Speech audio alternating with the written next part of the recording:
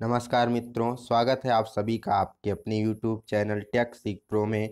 मैं यशवंत कुमार हाजिर हूँ आप सभी के बीच एक नई जॉब अपडेट को लेकर। ये वीडियो टेंथ, ट्वेल्थ आईटीआई उसके साथ साथ डिप्लोमा वालों के लिए बहुत ही मोस्ट इम्पोर्टेंट होने वाली है। तो अगर आप हाई स्कूल इंटर आईटीआई या फिर डिप्लोमा से हैं तो ये वीडियो आप लोगों के लिए बहुत ही मोस्ट इम्पोर्टेंट होने वाली है। लास्ट तक वीडियो को देखिएगा। इसमें हम आपको बताने वाले हैं, डिफेंस सर्विस स्टाफ कॉलेज के तरफ़ से जो वैकेंसी निकाली गई है, उसके बारे में कंप्लीट डिटेल देंगे क्या क्या एजुकेशनल क्वालिफिकेशन है, कैसे आप फॉर्म को अप्लाई कर सकते हैं, क्या पे स्केल है, क्या सिलेक्शन प्रोसेस है, टोटल यहाँ पर हम बात करने वाले हैं। तो वीडियो को स्टार्ट करने से पहले बता दिए यदि अभी तक आपने हमारे चैनल को सब्सक्राइब नहीं किया तो चैनल को सब्सक्राइब करके बेल आइकन वाला बटन दबा लें, जिससे कि आपको हर एक वीडियो की नोटिफिकेशन मिलती रहे। तो सबसे पहले वीडियो को स्टार्ट करने से पहले हम आप लोगों को डी एस एस सी के बारे में थोड़ा इंट्रोडक्शन दे देते हैं कि आखिर ये डी एस एस सी है क्या? तो जैसा कि आप देख पा रहे हैं, इस समय इसकी ऑफिशियल वेबसाइट में जब आप अबाउट अस में जाएँगे तो डी एस एस सी कहाँ पर स्थित है? तो located at Wellington Tamil Nadu India तो ये कहाँ पर स्थित है? तमिलनाडु में स्थित है, चेन्नई के तमिलनाडु में स्थित है। डी एस एस सी करता क्या? तो इसका फुल फॉर्म है डिफेंस सर्विस स्टाफ कॉलेज यह one of the few institute है वर्ल्ड के कुछ ऐसे कॉलेजेस में से है, जहाँ पर क्या की जाती है? ट्रेनिंग प्रोवाइड की जाती है तीनों प्रकार की सेनाओं की। तीनों प्रकार की सेनाओं का मतलब यहाँ पर आर्मी नेवी एयर्स फोर्स इन तीनों प्रकार की सेनाओं के ऑफिसर को ट्रेन किया जाता है। इसके साथ साथ कुछ जो सेलेक्टेड कैंडिडेट होते हैं पैरामिलिट्री और सिविल सर्विसेज़ के उनको भी यहाँ पर ट्रेनिंग प्रोवाइड की जाती है। उसके साथ साथ कुछ अदर ऑफिसर फॉरेन के ऑफिसर्स को यहाँ ट्रेंड किया जाता है। तो आपको पता चल गया होगा कि डीएसएससी का काम क्या होता है। तो जब आप इसकी ऑफिशियल वेबसाइट पे आएँगे, मैंने लिंक डिस्क्रिप्शन में दे दिया है। वहाँ पर आने के बाद आप यहाँ कैरियर वाले ऑप्शन पर क्लिक करते हैं। तो जब कैरियर पर क्लिक करेंगे तो आपके सामने एक नया पेज ओपन हो के आएगा। यहाँ पर आप देख पा रहे हैं defence service staff college inviting application for LDC stenographer MTS and other post through offline mode click here to view details यहाँ पर आप जब क्लिक हियर टू व्यू पर क्लिक करेंगे तो आपके सामने एक नया पीडीएफ ओपन होके आ जाएगा, ठीक? जो कि क्या इसका डिटेल एडवर्टाइजमेंट है, ठीक? तो कुछ इस प्रकार से आपके सामने पीडीएफ ओपन होके आ जाएगी, यहाँ आप इसका देख सकते हैं। सबसे पहले डेट ऑफ़ अप्लीकेशन तो एक तारीख को कल की डेट में ये फॉर्म निकाला गया है। लास्ट डेट क्या है तो 22 मई इसकी लास्ट डेट रखी गई। तो आप लोगों के पास 20 दिन का समय है इस पोस्ट के लिए अप्लाई करने के लिए। तो सबसे पहले यहाँ पर जो पोस्ट निकाली गई है, वो किसकी है? स्टेनोग्राफर ग्रेड सेकंड की है। इसका पे लेवल फोर रहने वाला है मीन्स पच्चीस हज़ार पाँच सौ बेसिक होगा। इसमें T A D H R A वगैरह मिलाया जाएगा तो चालीस के करीब आपकी सैलरी पहुँचने वाली है। इसके लिए चार पोस्ट हैं अनरिजर्व तीन, ओबीसी एक, एज लिमिट अट्ठारह से सत्ताईस होनी चाहिए। दूसरा जो पोस्ट है, वो लोअर डिवीज़न कलर के लिए, इसमें लेवल टू मिलेगा आपको। उन्नीस हज़ार नौ सौ से तिरसठ हज़ार दो सौ के बीच में दस पोस्ट है अनरिजर्व चार, ओबीसी चार एस टी एक ई डब्ल्यू एस एक एक एक्स सर्विसमैन के लिए भी यहाँ पर निकाली गई। इसमें से 18 से 27 ईयर होना चाहिए।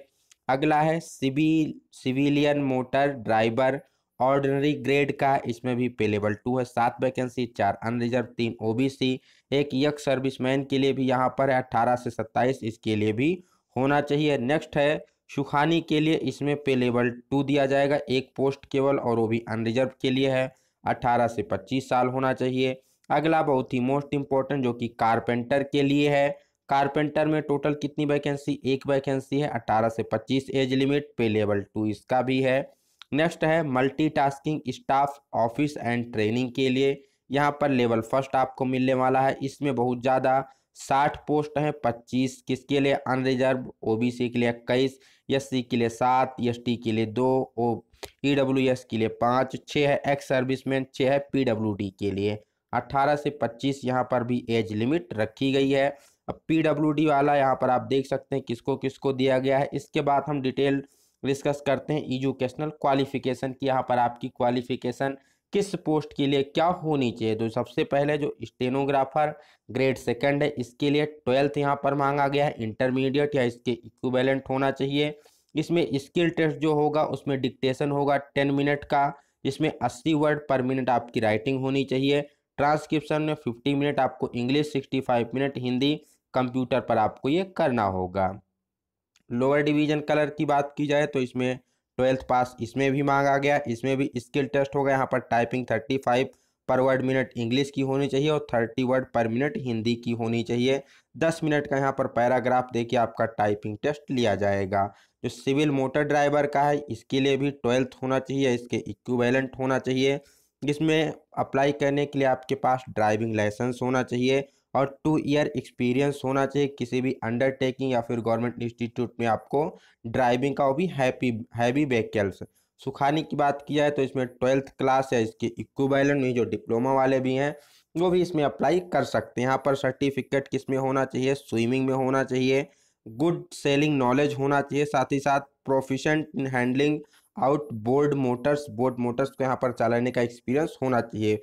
यहाँ पर जो नेवी के एक्स सर्विसमैन एक्स सेलर वगैरह हैं, उनको सबसे पहले प्रेफरेंस दी जाएगी। अगला बात करते हैं कारपेंटर के लिए एजुकेशनल क्वालिफिकेशन तो यहाँ पर ट्वेल्थ होना चाहिए या फिर उसके इक्विवेलेंट होना चाहिए अथवा यहाँ पर इंडस्ट्रियल ट्रेनिंग इंस्टीट्यूट जो लोग आईटीआई वाले कारपेंटर से पास आउट हैं, वो भी इस पोस्ट के लिए क्या कर सकते हैं अप्लाई कर सकते हैं। बस शर्त यहाँ पर आपको दो ईयर का एक्सपीरियंस मांगा गया है जो कि होना चाहिए। मल्टीटास्किंग स्टाफ के लिए क्या है? मेट्रिकुलेशन पास आउट या फिर इसके इक्विवेलेंट मीन्स यहाँ पर आपको टेंथ पास होना अनिवार्य है तो आप इस पोस्ट के लिए अप्लाई कर सकते हैं किसके मल्टीटास्किंग स्टाफ के लिए। जो भी एज लिमिट 18 से 25 18 से 27 दिखाई गई है, वो कब कैलकुलेट की जाएगी? तो 22 मई 2021 के अनुसार इसको कैलकुलेट किया जाना है। एज रिलैक्सेशन जैसे कि आपको हर जगह मिलता है, उसी प्रकार यहाँ पर भी आपको एज रिलैक्सेशन मिलने वाला है। लास्ट डेट आप कब अप्लाई कर सकते हैं? तो ऊपर ही हमने देखा है कि जो आपको फॉर्म है बेसिकली ऑफलाइन है, आपको फॉर्म फिलअप करके स्पीड पोस्ट करना है। तो 22 मई से पहले पहले आपका ये फॉर्म वहाँ पर सेंटर पर पहुँच जाना चाहिए। अब आप फॉर्म कहाँ से डाउनलोड करेंगे? तो फॉर्म इसी के डिस्क्रिप्शन में आपको इसी में दिया गया है, ठीक है? उस पर क्या करना है आपको? सेल्फ एड्रेस इन्वलॉप लेना है, दस गुणे बाईस सेंटीमीटर का, बाईस का पोस्टेज स्टाम्प लगा करके आपको पोस्ट कर देना है। जिस भी पोस्ट के लिए अप्लाई कर रहे हैं कवर पर आपको post application for the post आप जिस पोस्ट के लिए अप्लाई करते हैं, उस पोस्ट का नाम लिखना है। एड्रेस आपके सामने दिया गया है। The commandant defence service staff college Wellington Nilgiri six four three two three one pin code Tamil Nadu. इतना एड्रेस आप पोस्ट करके उस पर रिटर्न करके इसको आपको पोस्ट कर देना है, ठीक? अब आपको फॉर्म थोड़ा दिखा देते हैं। यहाँ पर आपको फॉर्म दिखाया गया है। इसी को जब आप डिटेल एडवर्टाइजमेंट को डाउनलोड करोगे तो वहीं पर आपको फॉर्म भी मिल जाएगा, ठीक? अब यहाँ पर जो सबसे पहले ही ऑफ़िस यूज़ के लिए ये आपको नहीं भरना है। यहाँ से आपको भरना स्टार्ट करना है। नाम, हस्बैंड नाम, डेट ऑफ़ बर्थ एज वगैरह आपको यहाँ कैटेगरी क्या क्या आपकी क्वालिफिकेशन है, वो आपको भरना है एक्सपीरियंस हो तो वो आपको डालना है। अगर आप कहीं पर सेंट्रल स्टेट गवर्नमेंट पी में वर्क कर रहे हैं तो वहाँ से आपको नो ऑब्जेक्शन सर्टिफिकेट भी चाहिए होगा। Aadhaar card detail present address home address ये सारा डाल करके आपको क्या करना है प्लेस जहाँ पर आप हैं, उस समय वो स्थान का नाम, जिस डेट में आप पोस्ट करें वो डेट यहाँ पर आप अपना सिग्नेचर क्या करेंगे साइन करके इसको आपको पोस्ट कर देना है। एक्नॉलेजमेंट एडमिशन ये सब आपके लिए अदर चीज़ें दी गई है। डुप्लीकेट कॉपी ठीक है। यहाँ पर ये भी आपको क्या है? भरने, भर के इस पर आपको देना होता है, ठीक है? एक्नॉलेजमेंट के लिए वो आपको क्या करेंगे? यहाँ से रिटर्न करेंगे, ठीक? मोड ऑफ़ सिलेक्शन क्या रहने वाला है? तो सिलेक्शन की बात देख ली जाए कि कैसे होगा। तो आल अप्लीकेशन विल बी यहाँ पर क्या करेंगे? एज क्वालिफिकेशन ये सारा वो मैच करेंगे। उसके आधार पर आपको कॉल लेटर जारी करेंगे रिटर्न टेस्ट के लिए, ठीक? जब आप फॉर्म भेजेंगे तो उसकी जाँच की जाएगी, एलिजिबिलिटी जो भी होगी उसके आधार पर आपको रिटर्न टेस्ट के लिए बुलाया जाएगा। रिटर्न टेस्ट में क्या है? सबसे पहले जो रिटर्न टेस्ट होगा उसमें जनरल इंटेलिजेंस रीजनिंग आएगी, न्यूमेरिकल एप्टीट्यूड आएगा, जनरल इंग्लिश आएगी, जनरल अवेयरनेस आएगी और जो भी ट्रेड आपका स्पेसिफिक है उससे आएगी। जो पेपर होगा हिंदी और इंग्लिश दोनों लैंग्वेज में होगा। ये आप लोगों के लिए बिल्कुल सही है। इसके बाद जब रिटर्न टेस्ट हो जाएगा तो वहाँ से मेरिट प्रिपेयर की जाएगी। उसमें कुछ रेशियो होगा, उस रेशियो के अनुसार आपको स्किल टेस्ट फ़िज़िकल टेस्ट के लिए यहाँ पर बुलाया जाने वाला है, ठीक? Short listed candidate are to bring original certificate copies of annexure attach with application जो भी शॉर्ट लिस्ट किए जाते हैं बाद में स्किल टेस्ट वगैरह के लिए, उसी टाइम पर आपका डॉक्यूमेंट वेरिफिकेशन भी होगा, ठीक? तो ये थी टोटल डिटेल तो अगर आप हाई स्कूल इंटरमीडिएट आईटीआई या फिर डिप्लोमा से हैं तो आप इन पोस्टों के लिए अप्लाई कर सकते हैं, ठीक? तो आपको वीडियो कैसी लगी? बहुत ही अच्छी पोस्ट है, इसके लिए आप ज़रूर अप्लाई कीजिएगा। बहुत ही अच्छा यहाँ पर आपको माहौल मिलने वाला है वर्किंग यहाँ पर आपको मिलने वाला है। ठीक तो इस पोस्ट के लिए आप ज़रूर अप्लाई कीजिएगा। और कोई आपको जानकारी चाहिए तो कमेंट सेक्शन में बता सकते हैं। कुछ इस प्रकार से आपको कॉलेज का यहाँ पर गेट वगैरह दिखाया गया है, ठीक? ये पूरी कॉलेज की बिल्डिंग है, आप देख सकते हैं कितना बढ़िया माहौल है वर्किंग एक्सपीरियंस है यहाँ पर, कितना वर्किंग एटमॉस्फेयर है यहाँ पर, ठीक? आप जिन लोगों के साथ काम करेंगे, सब हायर ऑफिसर्स होंगे यहाँ पर, ठीक है? तो ये सारी चीज़ें आपको बेनिफिट मिलने वाला, काफ़ी कुछ यहाँ पर आप रह के सीख पाएँगे। तो वीडियो कैसी लगी कमेंट सेक्शन में ज़रूर बताएँ। साथ ही साथ चैनल को सब्सक्राइब नहीं किए हैं तो चैनल को सब्सक्राइब करके बेल आइकन वाला बटन दबा दें और अपने फ्रेंड के बीच इस वीडियो को शेयर ज़रूर करें। तो मिलते हैं नए वीडियो में नई जानकारी के साथ। तब तक के लिए good day best of luck bye bye सभी को।